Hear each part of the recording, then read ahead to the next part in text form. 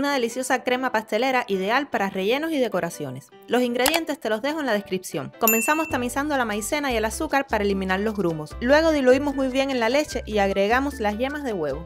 Y tamizamos también el cacao en polvo, mezclamos muy bien y llevamos a fuego medio, removiendo constantemente para que no se nos pegue en el fondo.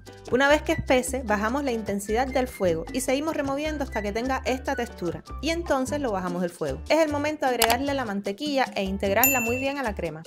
Dejamos reposar para que se enfríe, tapada con papel film, y luego la refrigeramos por unas horas hasta que esté totalmente fría. El siguiente paso es volver a batir la crema pastelera para que recupere su textura y de esta forma ya la tenemos lista.